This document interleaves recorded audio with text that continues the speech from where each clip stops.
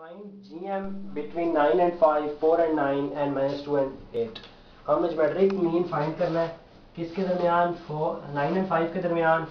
एक दूसरा 4 एंड 9 के दरमियान तीसरा माइनस टू एंड इसके दरमियान. तो हमारे पास ज्योमेट्रिक मीन का फार्मूला क्या होता है? जिसे हम जी कहते हैं.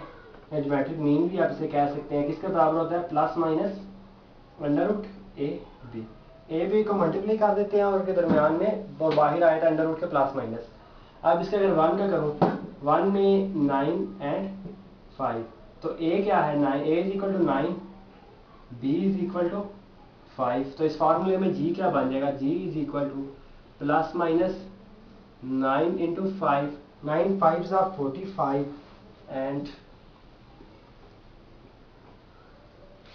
nine five ज़ा फोर्टी फाइव और फोर्टी फाइव को हम लिख सकते हैं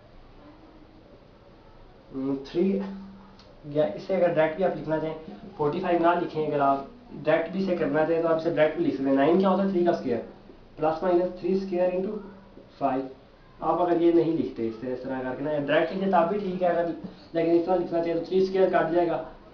थ्री स्केयर और अंडर फाइव तो थ्री स्केयर को कर देंगे plus minus three under five ये भी जवाब ठीक है, अगर बुक के लिहाज से देखें तो बुक में ये जवाब होगा फोर्टी फाइव भी कर देते हैं तब भी ठीक है। इसी तरह आप इसका नेक्स्ट पार्ट देखते हैं। Part number two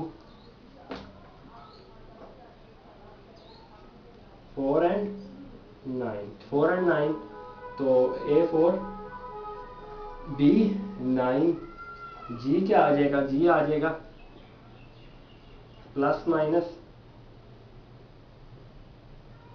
four into nine thirty six और थर्टी सिक्स क्या होता है? सिक्स का स्केयर और सिक्स का स्केयर किसके बराबर आ जाएगा? Plus minus six geometric mean क्या आ गया? प्लस माइनस सिक्स अब इसका last third part minus two and eight के दरमियान फाइंड करना अच्छा। ज्योमेट्रिक सॉरी इसका थर्ड पार्ट अब याद रखना ज्योमेट्रिक मीन टर्म्स से फाइंड कर रहे हैं, दोनों या पॉजिटिव होंगी या दोनों नेगेटिव होंगी। अगर एक नेगेटिव हो और एक पॉजिटिव हो, तब बैट्रिक मीन नहीं आता। माइनस एंड माइनस एट वो रियल नहीं रहते हो जाते हैं इमेजिनरी नंबर्स में चला जाता है।